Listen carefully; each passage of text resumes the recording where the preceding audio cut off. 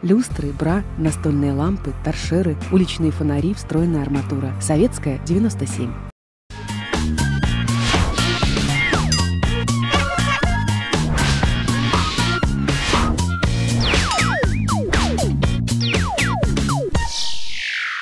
Здравствуйте, ребята! Привет, привет! Меня зовут Света, и сегодня я снова в компании Ильи и Александры. У ребят сегодня уже третий этап соревнований. Мы учимся простым правилам безопасности, при этом соревнуемся, как я говорю. Итак, ребята, половина пути про пройдена, и поэтому я предлагаю сейчас вспомнить, о чем мы говорили с вами в предыдущие два игровых дня. Первый день, вы помните, мы говорили о том, а, какую опасность может принести сильный снегопад, а во втором как себя вести при переохлаждении на морозе. Помните? Запомнили все, что говорила Мария Александровна? Да, да. Очень хорошо, ребята, постарайтесь все знания, э, как говорится, донести до финала, как минимум до финала, потому что вам они еще очень даже пригодятся. Итак, ну что, время первого конкурса, ребят. Снова будут загадки, только отгадки на этот раз, ребята, вам предстоит составить из букв, которые есть у вас на стенде. Сейчас они расположены в хаотичном порядке. Вам нужно будет выслушать загадку, найти строчку и выстроить буквы в правильном порядке. Задание не из легких, поэтому каждый правильный ответ стоит уже целых три фишки. И одна фишка за скорость. Четыре фишки на кону. Ну что, все понятно вам? Да, да. Тогда подходите, пожалуйста, к своим стендам. Ребята, буду вам давать подсказку, буду называть количество букв, из которых состоит слово. И вам нужно будет только найти нужную строчку и выстроить буквы в правильном порядке. Итак, первая загадка. Все его зимой боятся. Больно может он кусаться. Прячьте уши, щеки, нос, ведь на улице пять букв, пять букв в слове отгадки. И мы ищем, что это так кусается зимой у нас. Вот. Я. Ой. Ой, да. Что, Илья? Мороз. Это действительно мороз. Правильный быстрый ответ. Илья у нас зарабатывает 4 фишки. Хорошо, Александра, будь более внимательна. 8 букв состоит слово отгадка из 8 букв. Человечек непростой, появляется зимой, а весною исчезает, потому что быстро тает. Что это такое? Что за человечек зимой? Ребята, 8 букв. Я говорила, почему вы невнимательно слушаете то, что я говорю? 8 букв. Это человечек, который тает зимой, если вдруг оттепель наступает. Человечек. Что за человечек? Который весной тает. Выбираем нужные буквы, чтобы не было ошибок. Молодец. Быстро и правильно. Ждем Александру, она тоже уже почти закончила. Итак, но сейчас важно, конечно, без ошибок все, Саша, сделать. Мы тебя ждем, поэтому смотри, чтобы все было верно. Вот, все, я увидела, хорошо. Отлично, ребята, это действительно кто? Снеговик. Снеговик, конечно. Итак, я кладу, я сама буду вам раскладывать, э, вы стоите уже на своих местах. Итак, снова 4 фишки за правильный быстрый ответ у Ильи и 3 фишки у тебя, Саш, за правильный ответ. Хорошо. И последняя, следующая загадка. С неба он летит зимой. Не ходи теперь босой, знает каждый человек, что всегда холодный. Что всегда холодное? Время, время. Все. Читай, что получилось. Читай. Читай, составляй, уже ж надо правильно. Снег. Ну, это понятно, что ты знала отгадку, мы тебе ее засчитываем. Три фишки ты заработала, молодец.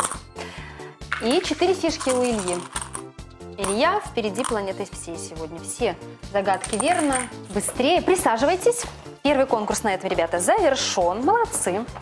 А сейчас время встречи с нашей очень хорошей знакомой Марией Александровной. Она уже готова выйти на связь.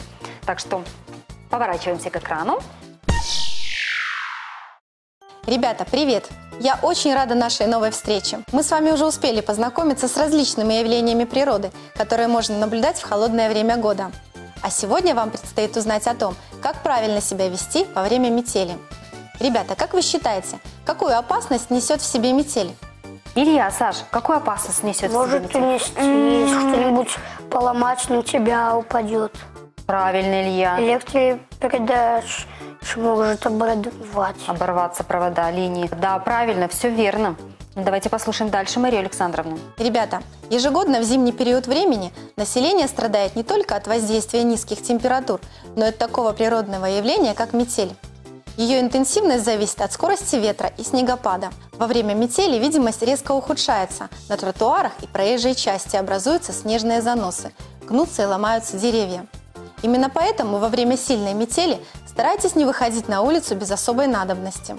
Если же она застала вас в пути, держитесь на безопасном расстоянии от легких построек, линий электропередач и других сооружений, которые могут быть разрушены. Сегодня вы узнали немного больше о безопасном поведении. А наша встреча подходит к концу. Я желаю вам успехов и, конечно же, победы. Ребята, это еще не все испытания на сегодня. Впереди финальное. Это, кстати, будет тест. Вы знаете, что такое тест? Да. да. Что такое? Кто расскажет? Илья, ну давай. Надо по своим знаниям использовать их и написать, сделать. Так, вот так вот в общих чертах нам обрисовал понятие Илья тест. Хорошо.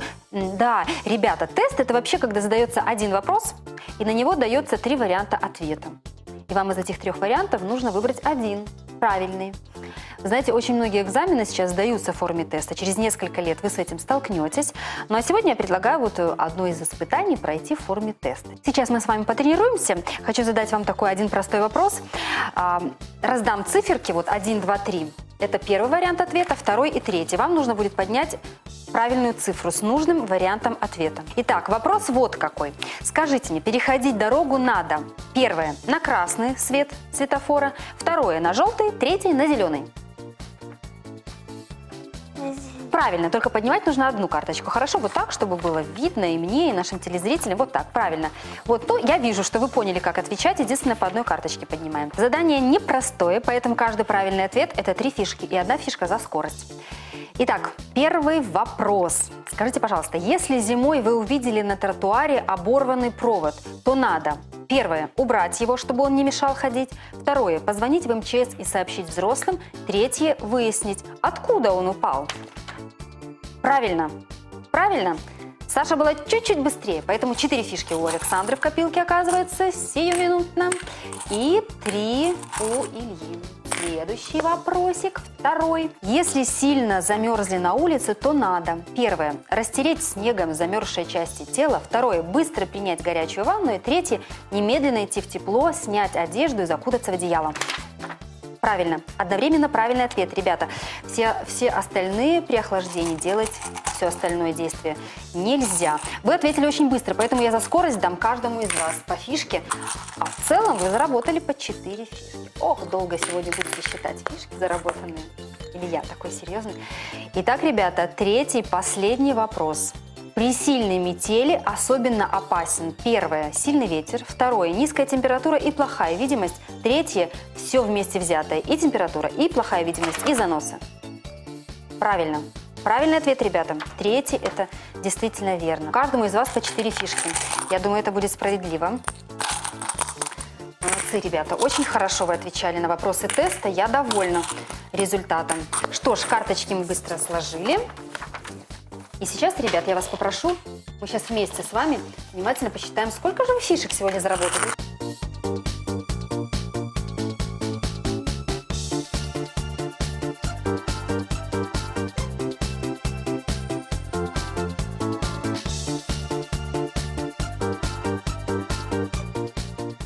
Итак, ребята, третий игровой день завершен. Счет 18-23. Ребята, а завтра финальная игра. Завтра мы определим, кто же станет победителем. Поэтому встречаемся завтра. А на сегодня пока. До встречи, ребят. Пока-пока. Пока-пока.